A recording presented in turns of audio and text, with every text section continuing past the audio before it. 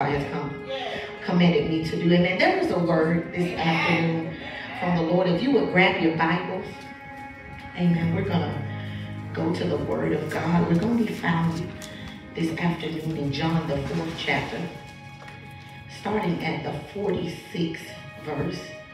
We're going to read down to the 50th verse. Amen to your hearing. I thank God for each and every one of you I may have forgotten to Lottie Dottie and everybody. Amen. I thank God for these awesome ladies that brought me, amen, all this way, amen. Amen. Some of our my COPs, would y'all wave your hands? I thank God for them. They don't leave me. No matter where I go, they, they're right behind me. So I thank God for that. John, the fourth chapter, starting at the 46th verse. Amen. We're going to read all the way down to the 50th verse. If you have your Bible, if you would read along with me, I like to read together. Amen. If you would read, we're going to read the four verses to your hearing. Amen. Together. If you don't have a, a Bible or some type of technological device to help you read, ask your neighbor, can I read with you? Amen. Today. Then tell them next tomorrow now you on your own. Amen. Because you don't go to war without your weapon.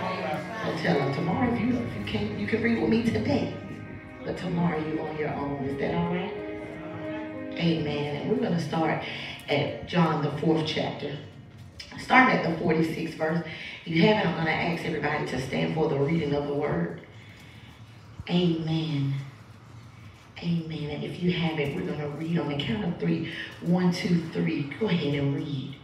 So Jesus, come on. Into Cana uh-huh. And there was a certain noble man.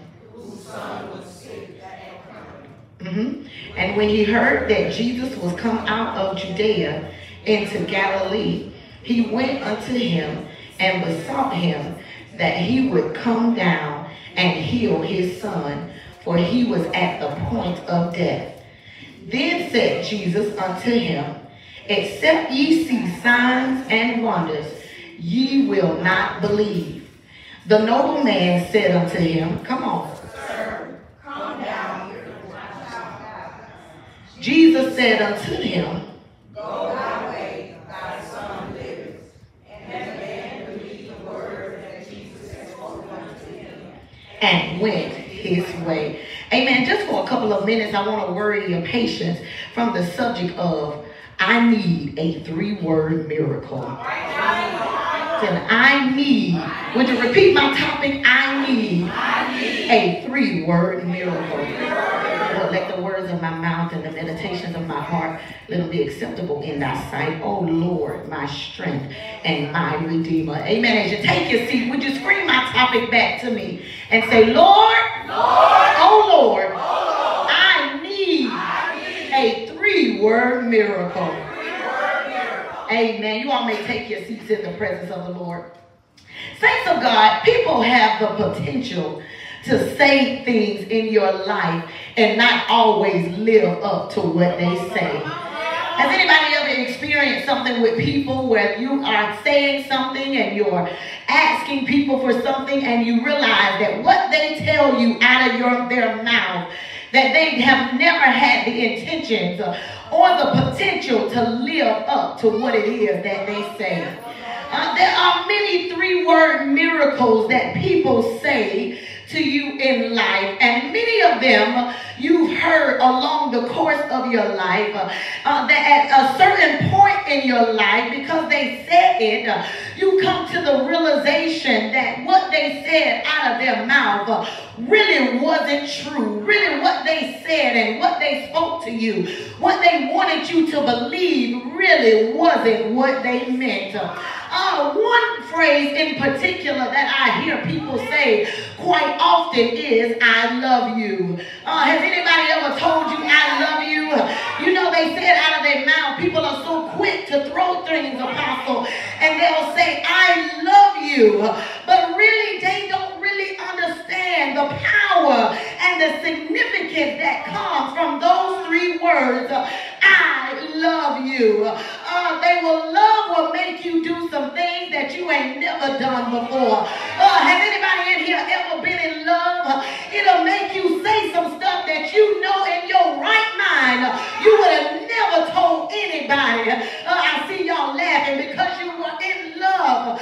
Uh, love will make you give your last to somebody uh, that you know you're never going to get that back in return. Somebody say love. Uh, love will make you give the shirt off your back to your neighbor because that's just what love is. Uh, there's agape love. There's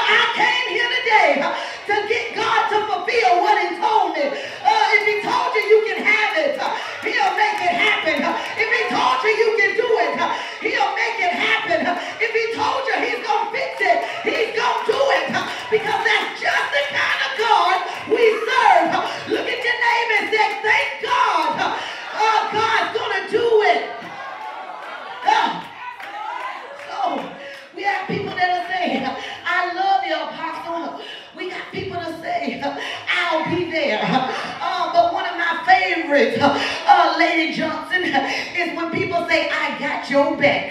Oh my God. Have you ever heard somebody say, I got your back? Oh, don't worry about it.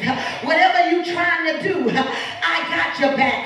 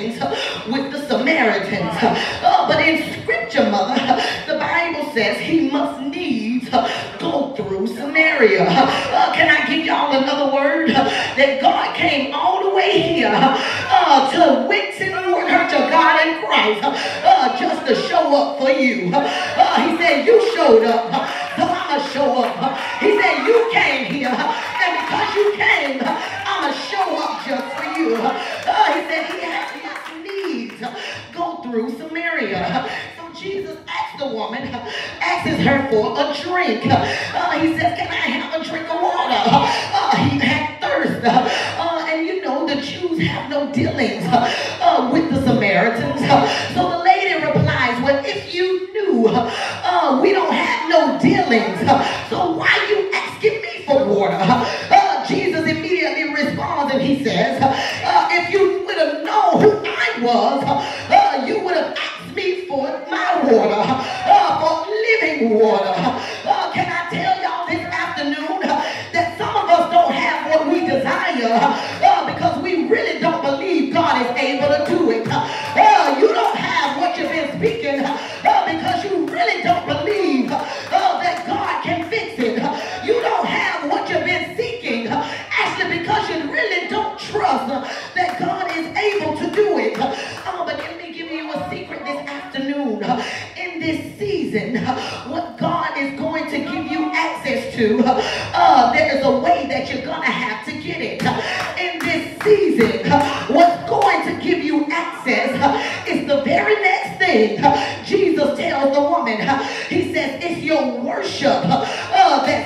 give you access.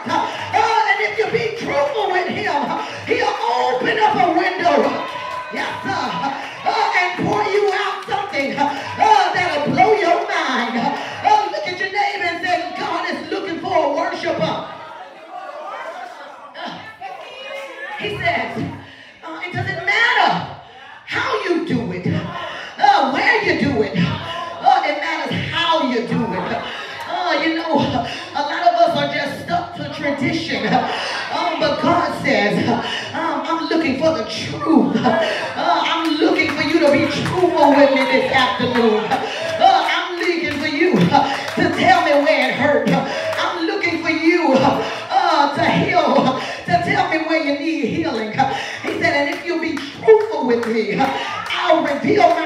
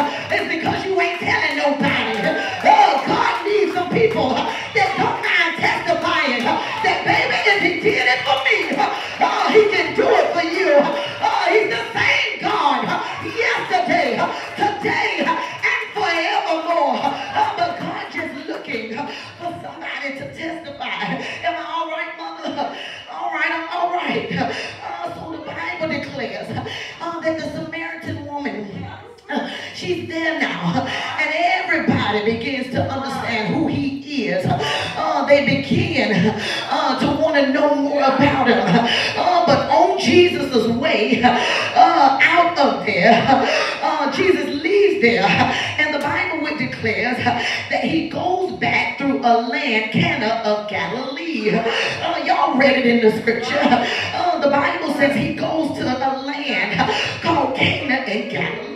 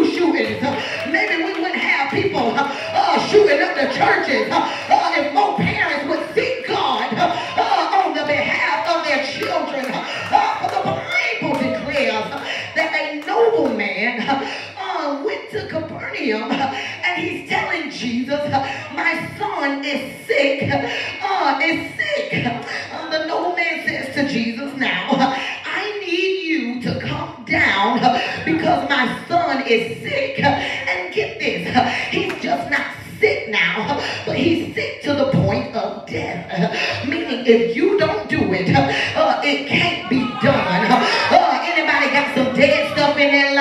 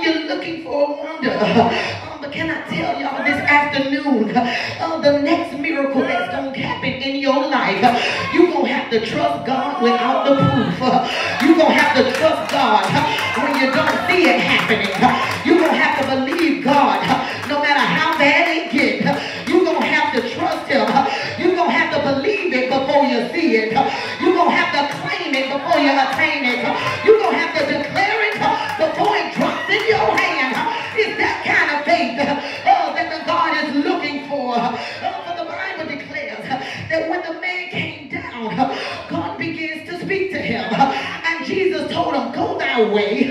Uh, and here's your three words.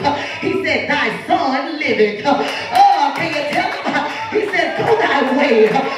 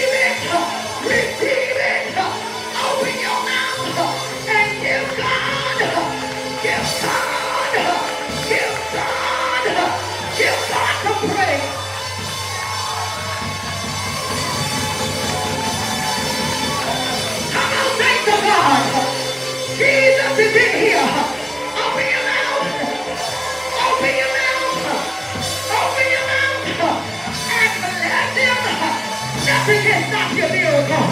Nothing can stop your breakthrough. Nothing can stop your healing.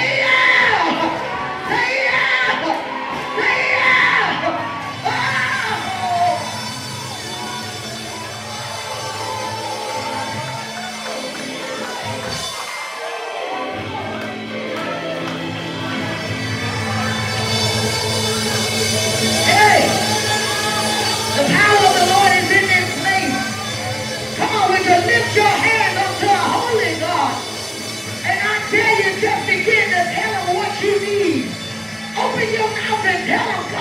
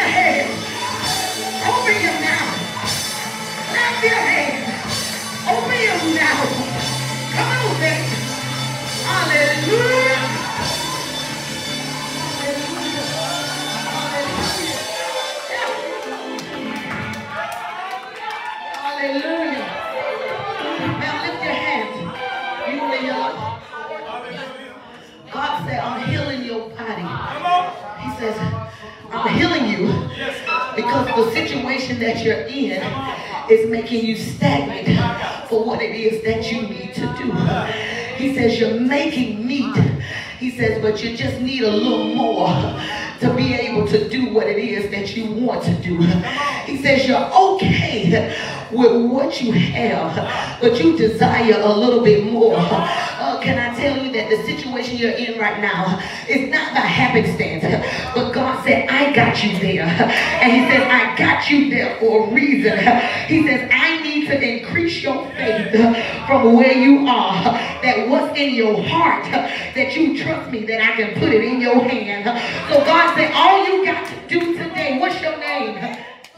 Flora. God said, Lord, you open your mouth. Whatever you speak in this atmosphere, if he be God, uh, he'll make it come to pass. People wondering,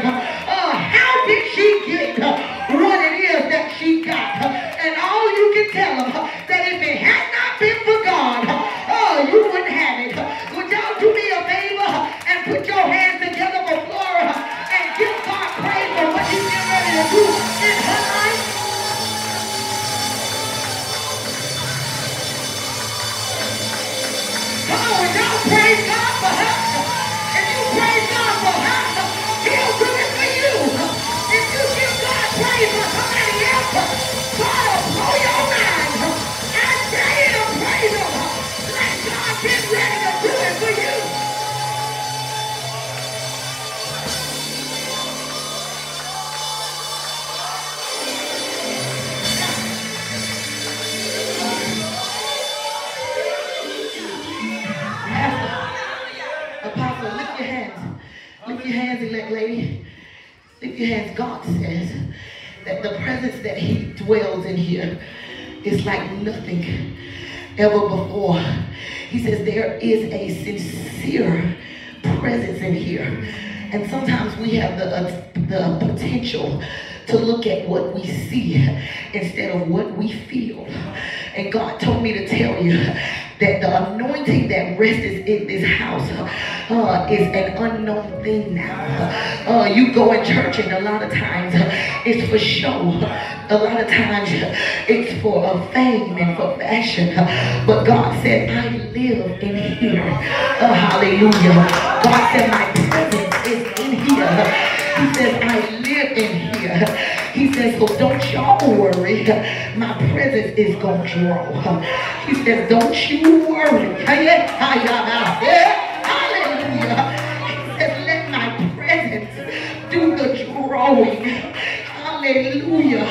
He says, if I be lifted up, thank you, God. He said, if I be lifted up, I'll draw. All he wants you to do is with your hands lifted up uh, and your mouth filled with praise. He says, you keep doing that uh, and you will see people in. He said, you keep doing that and you will see the drunken walk off the street. He says, you keep that position, keep that posture, uh, and babies will come back yielding themselves. Watch what I tell you.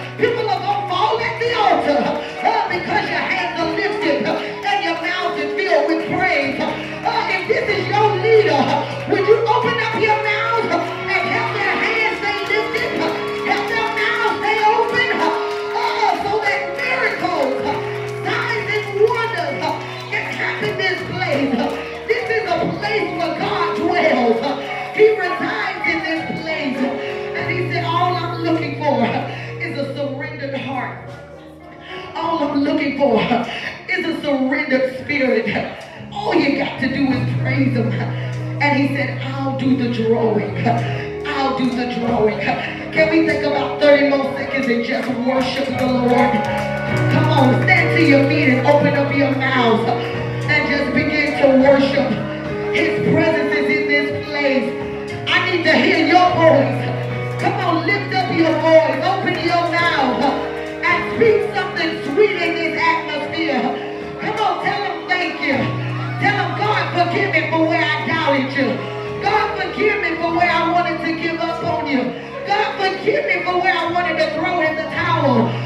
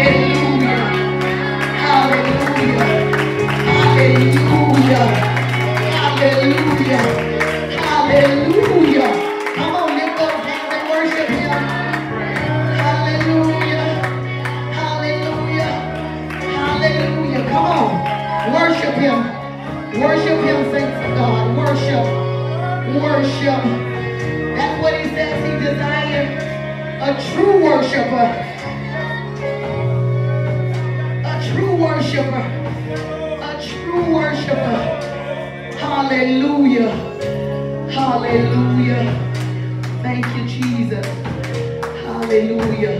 The presence of the Lord is in this place. Come on. And you need something from God like never before. Whatever you need, God said, I'm here. He's here for whatever you need. He says, I'm here for whatever you need. Whatever you need is yours for the asking. It's yours for the asking. It's yours for the asking. Whatever you need. Hallelujah. Whatever you need is yours for the asking. Listen, the presence of God is in this place. Hallelujah. Can I tell you something? God said the worship that I have on the inside of you, He says I'm going to use it to take you places. And when I say places, I'm not meaning physical